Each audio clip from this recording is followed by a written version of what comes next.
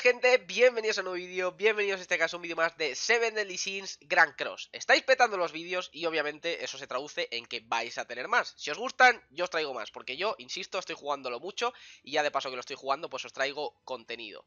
Gente, tenemos novedades, tenemos nuevos eventos en Seven Deadly Sins Grand Cross Y os voy a traer las novedades como tal de todo lo que tenemos que hacer Y de las recompensas que nos van a proporcionar. Sí que es cierto que tengo alguna dudilla eh, respecto a alguno de ellos, pero bueno, creo que os daré mi os daré mi opinión y creo que es la acertada. Obviamente puedo estar equivocándome, pero creo que no.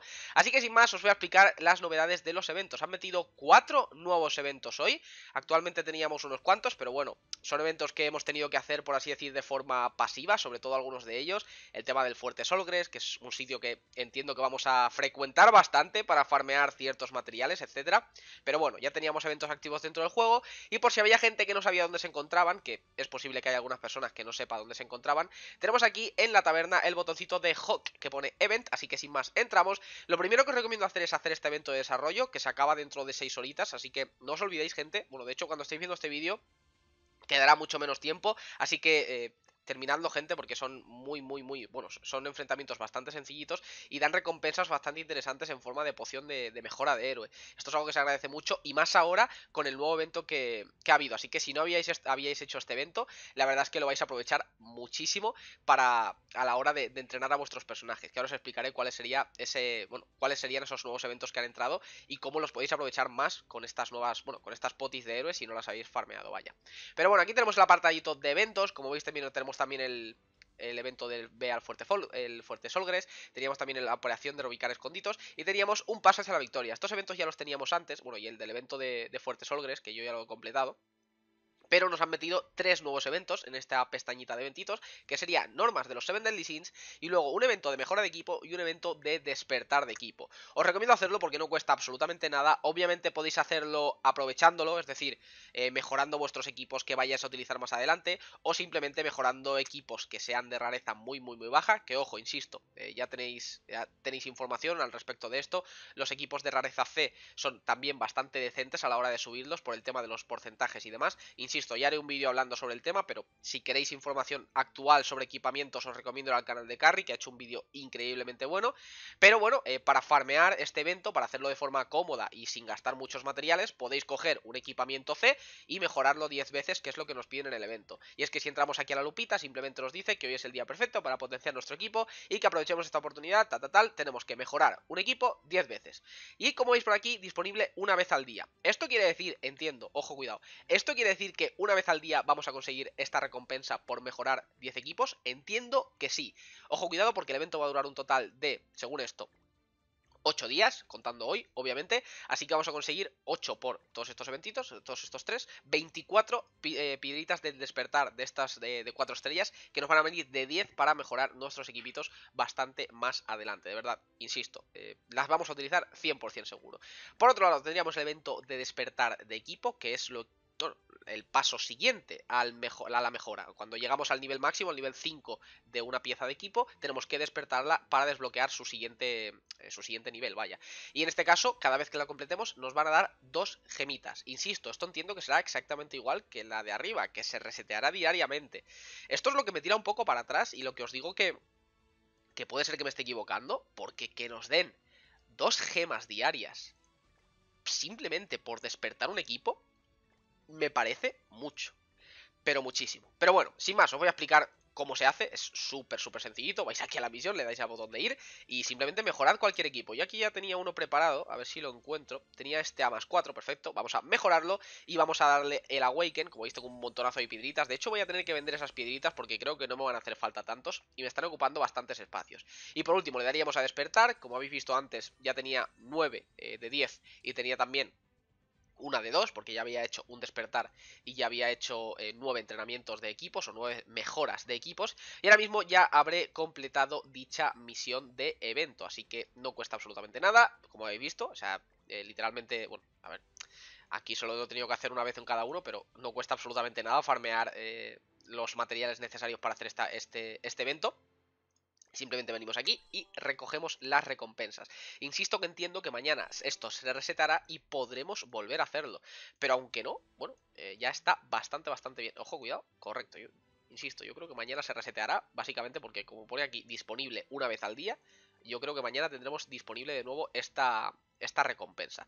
Y por otro lado tendríamos las normas de los 7 Deadly Sins, que este evento viene de 10 gente, o sea, hacía mucha falta un evento de estos, por lo menos para mí, porque ya empezaba a flaquear en cuanto a pociones de estamina. En este juego hay muchas cosas que hacer y te quedas sin estamina muy rápido. Actualmente tengo 41 de 41 y eso no me gusta. No estar farmeando cosas me molesta. Así que debería ponerme a farmear este evento lo antes posible, que además de obviamente consumir mi estamina, me va a permitir tener más botellitas de estamina. Pasándonos el primer evento vamos a conseguir una botella de estamina y vamos a dropear... Eh, objetos de, que nos van a venir bien para aumentar nuestro oro. De hecho, esto lo podéis farmear para farmear sin más eh, cofrecillos de oro, que siempre nos van a venir bastante bien.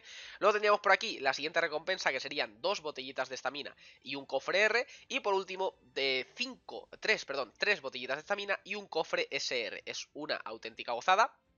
Ya os digo que este evento no creo que sea muy complicado. No he visto el CC total de las últimas misiones, pero bueno, la, dificultad más alta no sé cuál va a ser, pero bueno, eh, sin más. Y ojo cuidado porque esto es algo que pasa muchísima gente por alto, que es que la gente cree, o mucha gente cree, ya os digo, no... Sí que es cierto que se ve muy pequeñito y que puede, puede olvidarse, ¿no? Pero mucha gente piensa que una vez haces estos tres eventos, que ya has terminado. Y no, eh, realmente el evento tiene más chicha detrás y tiene como misiones secundarias. Si le dais justo debajo, bueno, si os fijáis justo debajo del nombre nombre del evento, privacidad de los pecados, eh, de los pecados mortales, que no sé si esto lo han traducido bien, la verdad. Eh, aparte de que vamos a conseguir dos gemitas en el caso de que completemos todas las misiones secundarias, porque esto llama la atención. O sea, aquí ya te tienes que fijar, hay dos gemitas, gente.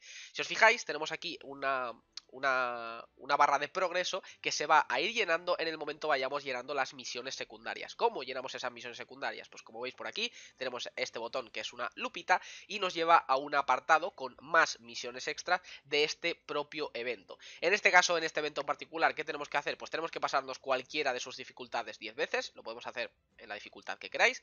Luego tendríamos que pasarnos cualquiera de los eventos superando, utilizando, bueno, superando el evento, utilizando habilidades en desventaja, es decir, si el rival es del evento azul, pues pegarle con el elemento rojo.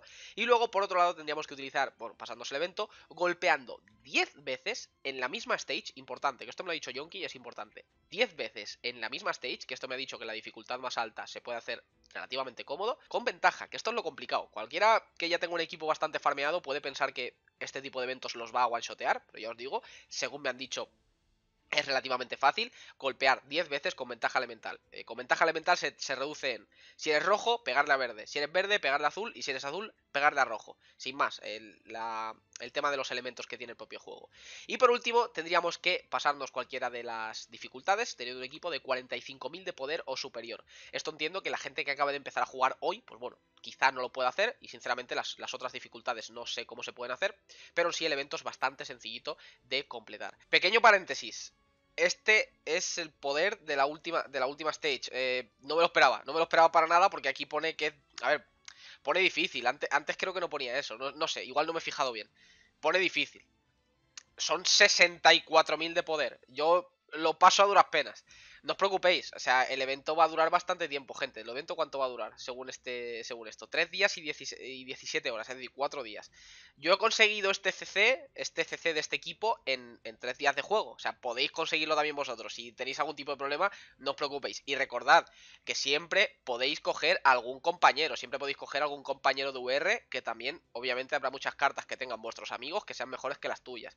Imaginaos que tenéis 3 URs y un R, porque no habéis podido subir más. Pues cogéis un UR de vuestros compañeros y lo ponéis en vuestro equipo, que os seguro que os va a aumentar el, CC.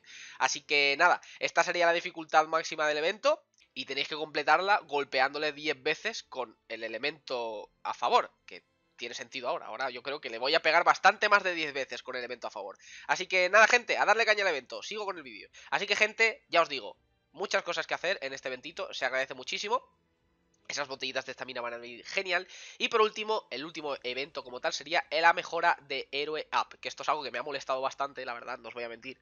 Y es que durante, este, durante la duración de este evento, gente, vamos a tener un porcentaje extra de que tengamos más super éxito o ultra éxito. Puede ocurrir o pueden ocurrir, simplemente hay más porcentaje, no te garantiza uno de ellos. Que esto, por ejemplo, en el Blazing sí que lo hace, ¿no? Si, en el, si hay una campaña de mejora de, de power up, de personajes, siempre te garantizan al menos el el success, el éxito superior. El, intermedio, por así decir. Y luego el superior, pues tienes una probabilidad X. Pero aquí puede ocurrir puede no ocurrir y puede ocurrir cualquiera de los otros dos, ¿no? Cualquiera de los superiores. Pero bueno, vamos a tener 8 días, 7 días y 17 horas para entrenar a nuestros personajes con una mejora de probabilidad de super success, de super éxito superior. Así que aprovechad la gente, yo lo he aprovechado hoy para subir a mi Gouther, Hauser, Hace, Joce, Cace, Hauser, Haunter, etcétera ya lo tengo en VR, de hecho ya he terminado la última misión que me quedaba. Estoy triste. Ahora lo único que me queda es darle a las misiones de, las ciudades. Pero bueno, ya, ya he farmeado a mi Hauser Gouther. Ahora lo que me falta sería subirlo de nivel. Pero como veis, a ver si... Vamos a ver. Nivel 41. Dame un super éxito. Ultra éxito.